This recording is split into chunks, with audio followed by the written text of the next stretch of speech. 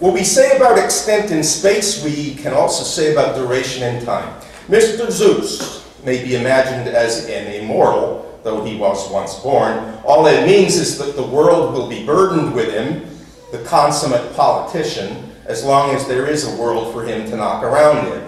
Mr. Zeus is not eternal.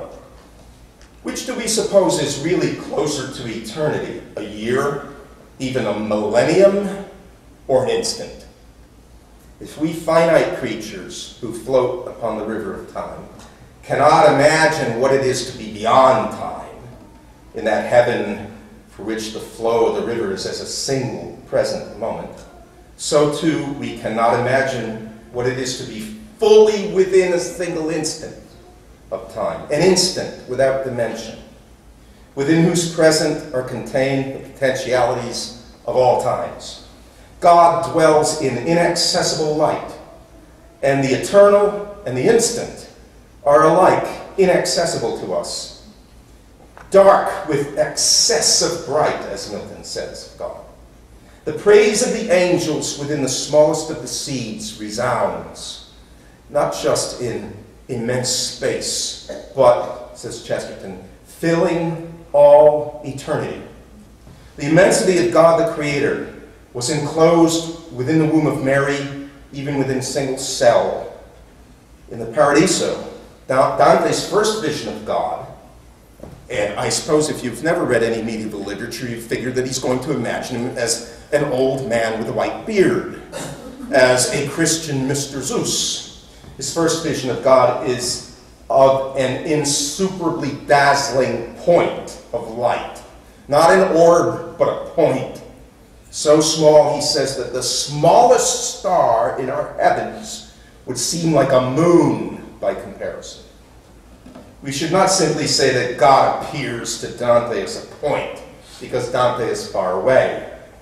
The point has no dimension. Zeus would grow bigger the closer you drew to him. That is because Zeus is merely and trivially big, while God is the one for whom the whole universe is as a point, and a single created point of space is room enough for him, so also this single instant of time. In what analogous and small event is enclosed the eternity of God the Redeemer? So, consider a moment that is as small in time as a seed, the mustard seed is small in space. Consider something tinier than the mustard seed, an impulse of the human heart, an act of the will that is touched by the silent and invisible dew of God's grace. So the scene is Calvary, and you know immediately what I'm going to talk about. There are two men crucified beside Jesus. They've been mocking him. Why not? Everybody else is.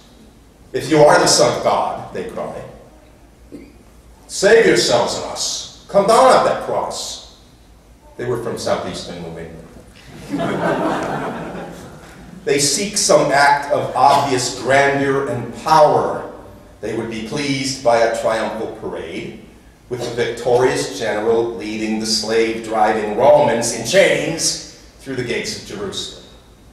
They want 20 more years, or 30, or 40 of debauchery, highway robbery, assassination, treachery, and all the other pleasures of the adventurous life. They want more of the same old, big, empty things they have known for so long. They want long life and not eternal life. Just as a merchant wants gold, and a politician wants power, and a soldier wants glory, and a lawyer wants fees. They want a big house for a long time. They do not want the kingdom of God forever. Well, what happens then? We're not told. One of the mockers rebukes the other. Something happens, and one of the mockers rebukes the other. Something must have turned in his heart before then. These were wicked men who deserved their punishment. What was it? An impulse of the heart. The smallest and most secret response to the call of God like a, the glint of a spiritual firefly, private, hardly understood by the very man who experiences it.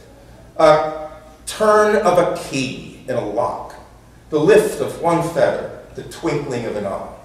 We shall all be changed, says St. Paul, thinking of the resurrection, in the twinkling of an eye.